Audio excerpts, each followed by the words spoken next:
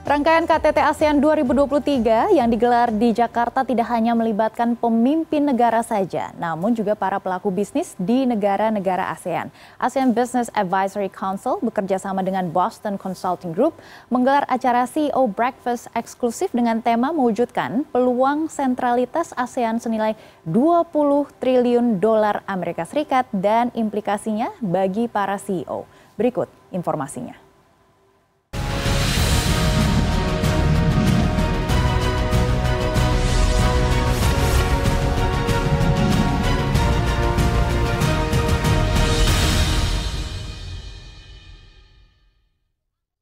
Asian Business Advisory Council atau ABAC bekerjasama dengan Boston Consulting Group BCG mengadakan acara CEO Breakfast eksklusif dengan tema mewujudkan peluang sentralitas ASEAN 2023 senilai 20 triliun US dollar dan implikasinya bagi para CEO.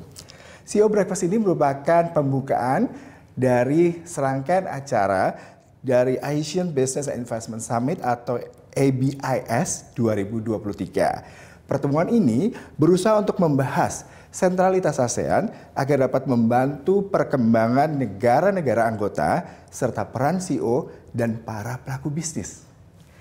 Lalu, bagaimana para CEO dan pelaku bisnis ini bisa memaksimalkan peluang dan potensi sentralitas ASEAN ini?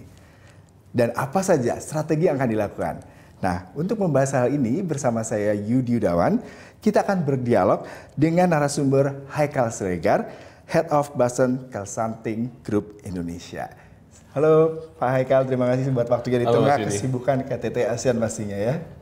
Nah ini yang menarik, dari awal saya selalu mengatakan adalah sentralitas ASEAN. Mungkin Pak Haikal bisa menceritakan apa sentralitas ASEAN, kemudian implikasinya buat para pengusaha, dan apa yang menarik mungkin bisa dielaborasi terkait dengan hal ini. So sentralitas ASEAN kita sering dengar itu kan sebetulnya dari sisi politik ya, kita yeah. sering dengarnya itu. Tapi actually dari sisi bisnis itu tidak kalah pentingnya. Um, karena uh, kalau kita lihat nih ya, especially tahun ini di, di, di presidensi ASEAN uh, di Indonesia 2023 ini, actually peran bisnis menjadi salah satu yang sangat penting gitu. Dan sentralitas ASEAN tuh ada beberapa hal yang sangat penting. If you think about it for business gitu ya. Uh, pertama actually adalah uh, melihat bagaimana di ASEAN sendiri kita bisa memperkuat uh, champions, so regional uh, regional champions yang kita bantu ekspansi across ASEAN maupun actually keluar dari ASEAN. Kedua itu berpikir tentang supply chain, tentang rantai pasok kita gitu. Dan um, kalau kita lihat nih uh, rantai pasok uh, across ASEAN itu sangat penting biar untuk mengembangkan industri-industri maupun actually menjadikan ASEAN sebagai destinasi uh, rantai pasok dari yang uh, aslinya dari luar ASEAN.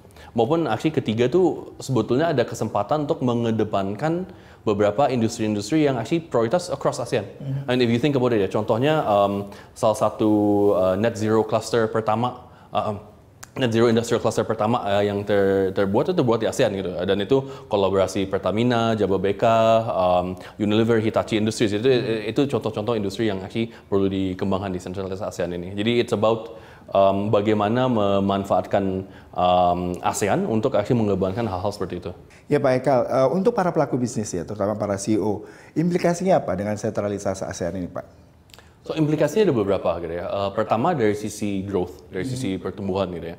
Bahwa actually dengan adanya sentralisasi ASEAN dan kolaborasi across Asia Tenggara, itu membawa opportunity banyak yang bagi bisnis-bisnis. Uh, contohnya itu kalau kita ngambil tadi contoh uh, rantai pasokan gitu ya, hmm. banyak sekali orang yang ingin diversifikasi uh, supply chain gitu ya. Mereka selalu pikir plus one strategy. Nah plus one strateginya ya kalau ke ASEAN ya it's a big opportunity bagi CEO untuk uh, untuk bisa lakukan. Satu adalah itu. Hmm.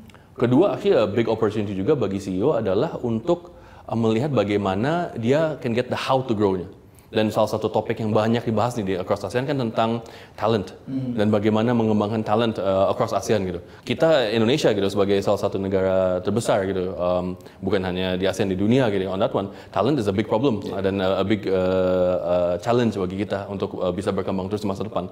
Jadi actually bagi uh, bagi itu semua it's actually a great opportunity kalau kita bisa collaborate across ASEAN untuk mengembangkan uh, talent yang kita butuhkan gitu. Hmm. Dan I think the third one is of course um, it's a great networking exercise opportunity. Jadi di breakfast tadi itu uh, we had many CEOs dari semua uh, negara di ASEAN dan itu menjadi salah satu um, uh, ajang yang uh, sangat jarang ada mungkin mm -hmm. ya, untuk untuk actually benar-benar bisa connecting at a personal level uh, lintas lintas uh, lintas border. Mm -hmm. Kalau bicara mengenai ASEAN, pertumbuhan ekonomi khususnya ASEAN cukup baik kalau kita bandingkan dengan Eropa bahkan dengan Amerika. Uh, di satu sisi mungkin Anda bisa menjelaskan pertumbuhan ASEAN yang sangat develop seperti itu apa dan kemudian satu sisi lain yang menarik adalah apa yang harus diwaspadai oleh para pemimpin bisnis dengan kondisi saat ini, Pak. Oke. Okay. It's a great question ya, dan mungkin itu bermulai pada um, kenapa sih ASEAN yang tadi yang bilang itu it's the beacon of hope gitu right now in, in the world itu. Kalau kita lihat itu sebetulnya ada tiga hal kan yang membuat ASEAN itu menjadi berkembang seperti sekarang. Uh, pertama adalah bahwa ASEAN itu merupakan tempat di mana ada pertumbuhan ekonomi yang relatif stabil. Mm. Inflasi itu relatif terkendali. If you look at the political situation, relatif uh, stabil juga across uh, across most of the most of the countries di di Asia Tenggara. Gitu. Dan pertumbuhan stabil itu actually menjadi salah satu hal yang lumayan penting gitu, on, on that one.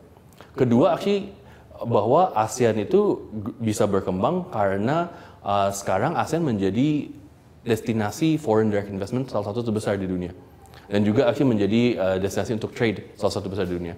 Bahkan di uh, Boston Consulting Group kita ada study ini. Kalau kita lihat uh, proyeksi sampai 2031 gitu ya, um, dan bahwa data pasok dunia berubah, actually mungkin region yang memiliki keunggulan paling baik gitu atau will be the top winner from uh, the change in global supply chain itu justru ASEAN. Mm. Dan itu actually sesuatu yang harus di harus dijaga gitu on, on that one. Dan uh, ketiga itu tentunya actually tentang ASEAN kita sendiri kalau kita lihat nih, kita populasi sekitar 600 juta manusia kan. Um, dan kalau kita lihat lebih dari setengah itu actually di bawah umur 30 tahun itu ada suatu demographic uh, dividend yang dibilangkan hmm. Tuan. Tapi yang harus diingat adalah again um, demographic dividend itu tidak terjadi secara otomatis kan. Hmm. So kita harus memanfaatkan itu dan actually me, me, me, memaksimalkan potensialnya sambil itu ada di, di saat ini. Hmm. Nah ini terkait dengan tadi Bapak sudah katakan Asia bertumbuh dengan baik, kemudian kondisi geopolitik juga stabil. Di satu sisi kita juga harus waspada, terutama buat para pelaku bisnis. Adakah hal yang perlu diterapkan terkait dalam ini sehingga bisa meminimalkan adanya yang geopolitik atau kondisi tidak tidak stabil itu yang bisa muncul suatu waktu? Hmm, hmm. That's, that's actually a great question. Jadi kalau bicara tentang apa yang seorang CEO atau perusahaan bisa lakukan, itu ada beberapa hal. Hmm. Um, pertama itu istilahnya resilience hmm. atau bahwa uh, uh, mempersiapkan perusahaan maupun kondisi internal untuk memastikan bahwa kalaupun pasar turun hmm. karena harga komoditas anjlok atau karena demand dari Cina turun atau karena uh, geopolitical issues gitu ya bahwa actually suatu perusahaan itu kuat um, dan uh, resilient uh, terhadap uh, uh, perubahan-perubahan uh, eksternal itu. Pertama adalah itu. Kedua itu actually investment in innovation and R&D. Hmm. Karena uh, kalaupun kondisi makro dan so on itu stabil, actually sebetulnya kenyataan di dunia ini banyak disrupsi uh, yang terjadi juga. Contohnya uh, generative AI atau artificial intelligence secara, secara uh, more broadly gitu. Itu actually banyak merubah uh, pola bisnis yang terjadi sekarang dan uh, walaupun kita mungkin ada sangat enak bahwa kita berada di kawasan yang stabil dan berkembang, actually tidak kita tidak boleh lengah gitu hmm. gitu untuk untuk melakukan itu, um, untuk um, mengantisipasi dan actually mempersiapkan itu. Dan ketiga, kalau saya boleh lihat itu kita mungkin di ASEAN ya, kalau kita lihat historically, kita tuh biasa um, belajar dari best practice. Yeah. Jadi yang kita lakukan tuh actually kita belajar dari um, apa yang dilakukan di dunia barat, di hmm. negara lain ya yang, yang yang lebih maju gitu daripada kita. Tetapi ke depannya mungkin tuh bukan atau tidak selalu relevan lagi. Yeah. Jadi kita mungkin harus balancing sekarang between belajar dari best practice dan actually membuat next practice. Jadi hmm. yang membuat uh, benchmark bagi kita sendiri. Karena jujur ASEAN menjadi cukup besar dan uh, company-company cukup besar bahwa actually practice di luar maybe it's not the best dan kita harus berani dan actually memimpin inovasi tersebut sih. Hmm. Mungkin mungkin tiga hal itu kalau kalau Mas yeah, Menarik sekali. Lalu kita bicara mengenai Bapak pribadi ya. Dengan latar belakang Bapak banyak bekerjasama dengan berbagai macam perusahaan maupun industri yang berbeda-beda. Hal apakah yang membedakan perusahaan dengan keunggulan kompetitif dan pemain lainnya? It's a, it is a very good question dan dan dan ada ada beberapa hal ya yang kalau saya boleh uh, lihat ya. Pertama itu actually mungkin mulai dari yang disebut sebagai external focus. Mm-hmm. Kalau saya lihat nih banyak perusahaan itu yang transformasi kan salah satu hal yang sering dibicarakan sekarang ini ya. Tapi banyak sekali perusahaan yang sukses itu actually selalu bertransformasi. Kenapa? Karena dia selalu melihat keluar dan selalu melihat oh ada kesempatan baru, ada tantangan baru, ada ada hal-hal baru yang. Jadi bahwa dia selalu transformasi dan selalu um, siap berubah dan ada strategic intent untuk melakukan itu, actually satu sangat penting. Kedua, itu sebetulnya ada uh, adanya internal rigor, yaitu adalah ketika menjalankan proses-proses ke dalamnya itu actually sangat disiplin dan sangat kuat on on on that one. Dan uh, area-area yang di mana dia sudah memulai bisnis yang matang gitu ya dia benar-benar menajamkan eksekusinya. Hmm. itu mungkin mungkin uh, kedua adalah itu. Ketiga itu sebetulnya adalah investment sih bahwa dia uh, actually uh, saya lihat the perusahaan yang uh, sukses and success over decades ya itu uh, melakukan investment ke area-area yang new business maupun actually melakukan investment untuk inovasi di existing business dia. Jadi ketika dia melakukan tiga hal itu sebetulnya um, itu membantu membuat uh, perusahaan itu lebih uh, tahan terhadap uh, rintangan yang yang yang dihadapi. Dan yang menarik, uh, actually uh, BCG pernah melakukan suatu sebuah studi ya. Jadi ketika semua hal lagi berkembang, perusahaan yang melakukan tiga hal semua itu, itu mungkin growth-nya itu bedanya 1,1 sampai 1,3 kali lipat. Tapi justru actually ketika ada masa sulit nih dan actually lagi ada ketidakstabilan, itu per perbedaan pertumbuhannya bisa sampai dua setengah kali lipat. Jadi actually kekuatan itu yang ibaratnya muncul ketika pas lagi susah-susahnya gitu dan pas lagi dibutuhkannya. Wow, menarik sekali ya Pak. Ya menurut Anda, apa kunci membangun ketahanan bisnis dalam konteks sentralitas ASEAN ini Pak? Ya. Jadi ada mungkin dua hal kalau kita kalau boleh pikir atau atau dua sisi yang yang berbeda gitu ya. Pertama itu dari sisi uh, external collaboration.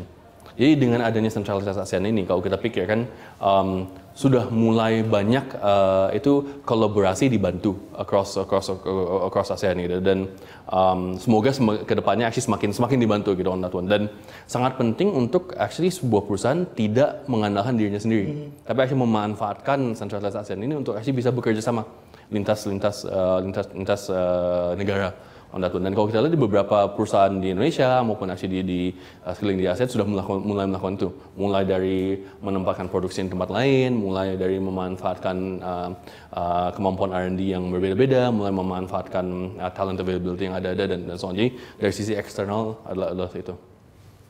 Kalau dari sisi internalnya ya, yang actually yang mungkin perlu dilihat ya adalah uh, sangat penting actually untuk perusahaan-perusahaan di ASEAN tidak berpikir bahwa um, hanya melihat market sekitarnya saja hmm. dan memastikan bahwa kalau kita bicara mengembangkan bisnis menjadi kompetitif, kompetitifnya itu di kawasan, bukan hanya di negara gitu, non one. Dan dan akhirnya memastikan benchmarknya ke ke kawasan karena dengan sentralitas ASEAN ini kan semakin lama akan semakin harmonis semoga uh, apa uh, regulasi um, sehingga uh, actually akan ada persaingan talent, persaingan perusahaan, persaingan lain-lain, actually yang terjadinya di level kawasan. Nah, perusahaan itu harus tentu mempersiapkan itu. Jadi tidak tidak cukup nih untuk menjadi jagoan di kandang sendiri gitu, tapi harus menjadi um, bisa menjadi jagoan di, di, di satu kawasan untuk itu. Jadi mungkin dua itu dari sisi kolaborasi eksternal maupun actually mempersiapkan uh, kompetitif internal. Ya. ya, Bapak bisa menceritakan kira-kira sejumlah masdu ya buat para CEO ini mengambil peluang besar 20 triliun US dollar di sentralitas ASEAN ini sehingga juga memaksimalkan potensi pertumbuhan pertumbuhan ASEAN ini. Bagaimana Pak Anda melihat ini? So masdunya ada beberapa. Um, pertama, actually masdu pertama adalah untuk melihat strategic clarity. Karena bagi masing-masing perusahaan, tergantung kita ada di sektor apa, di sektor kesehatan, di sektor energi, di sektor um, pertambangan, di sektor consumer goods gitu ya, itu actually opportunity yang ada itu berbeda-beda. Dan pertama itu must do pertama adalah mempunyai strategic clarity tentang apa nih opportunity bagi saya. Hmm. I pertama adalah itu um, Masdo kedua, kalau kita lihat ya, adalah saya sangat suka nih sebetulnya dengan lead up to ASEAN dengan ABAK ini. Actually kalau kita lihat banyak sekali benchmarking, banyak sekali um, kolaborasi dan actually uh, connecting dan networking lintas negara. Dan itu kalau saya itu actually must do kedua. Hmm. Karena baik dari situ itu membuka opportunity, itu juga membuka pembelajaran, itu juga mem, uh, membuka kesempatan uh, bagi actually perusahaan-perusahaan. Itu actually must do kedua sih on, on that one.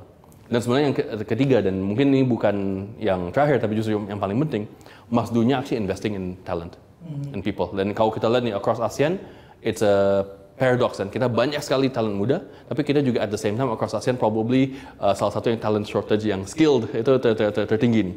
Jadi kalau kita ingin bersaing di masa depan, Mas Dunya adalah benar-benar investment in talent. Talent baik untuk menjalankan bisnis sekarang maupun actually talent untuk mengerjakan skill-skill baru seperti AI atau sustainability dan dan lain-lain. Ini mungkin tiga mas itu. Kalau Iya, terakhir optimisme seperti apa nih Pak terhadap event ini dan buat para CEO ke depannya? I think I would say I am cautiously optimistic. Di satu sisi, um, di satu sisi opportunity itu sangat besar. Kalau kita lihat nih, 20 trillion vision for ASEAN is amazing. Dan itu actually, uh, again, will probably be seperlima dari pertumbuhan global economy di, di 20 tahun ke depan kan. So, benar-benar besar gitu on, on that one. Dan kalau kita lihat um, uh, the actors ya, jadi dari pemerintah, dari uh, perusahaan yang involved so far, the energy and the spirit is actually all aligned and, and, and very exciting. Jadi dari sisi itu, I'm cautiously optimistic because um, uh, the other part of it adalah ini of course eksekusinya akan berat gitu dan dan dan ini actually butuh sesuatu konsistensi yang dilakukan bertahun-tahun gitu on, on that one. Jadi ya again excited, sangat optimis tapi uh, ya PR dan kerjaan kita ke depan masih masih sangat panjang. Terima kasih Bapak Haikal Siregar selaku Head of Boston Consulting Group Indonesia untuk perbincangannya. Demikian dialog kita hari ini bersama dengan Haikal Siregar, Head of Boston Consulting Group Indonesia. Saya Yudi Dawan, sampai jumpa. Terima kasih Bapak. Ya.